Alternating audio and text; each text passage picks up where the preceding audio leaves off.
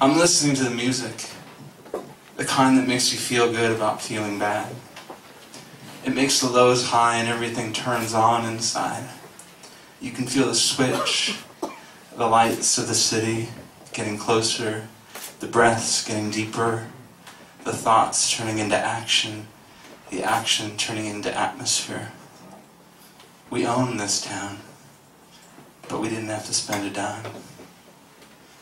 The liquid girls that spill out onto the streets, the guys like signposts handing out directions without being asked, and the laughter that's drawn on our faces, watercolors that spill across the table. You said you could tell my fortune by looking at someone else's palm.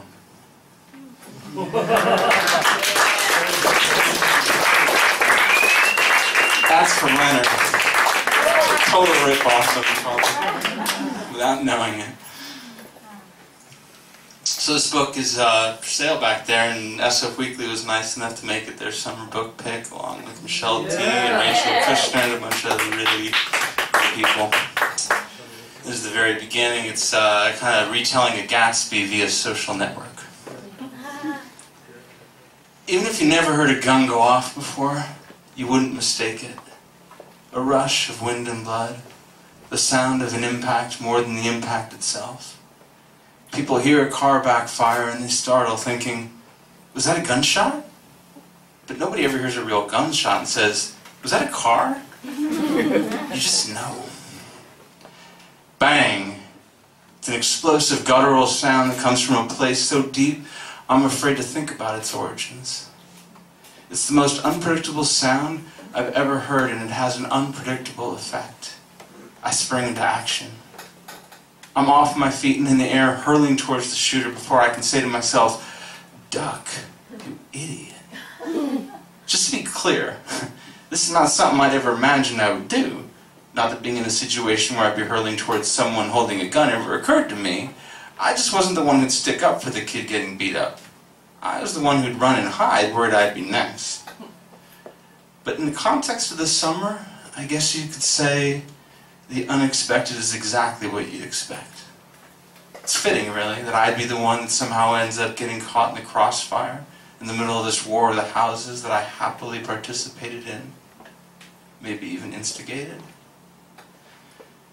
And here I am, 17-year-old Charlie Middle, in the role of Mercutio five feet away and closing in on the familiar shape whose hand's on the trigger.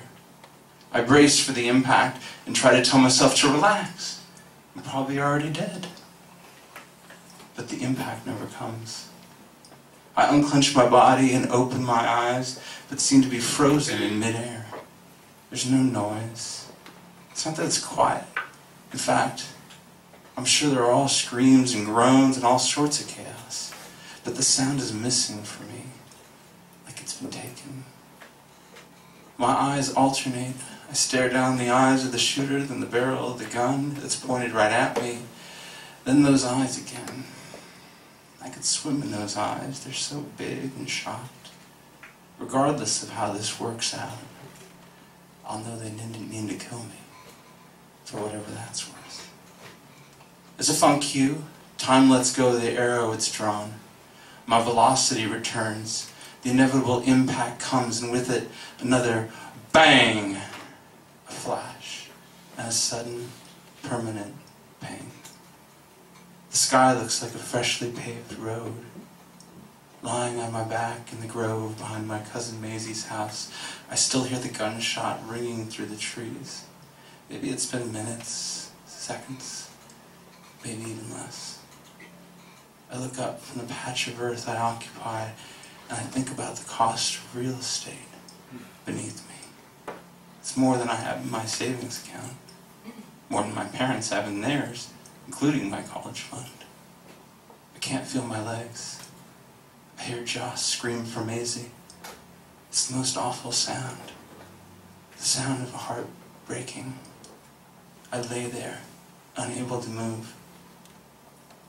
Where are the stars? I mumble as everything goes dark. Thanks.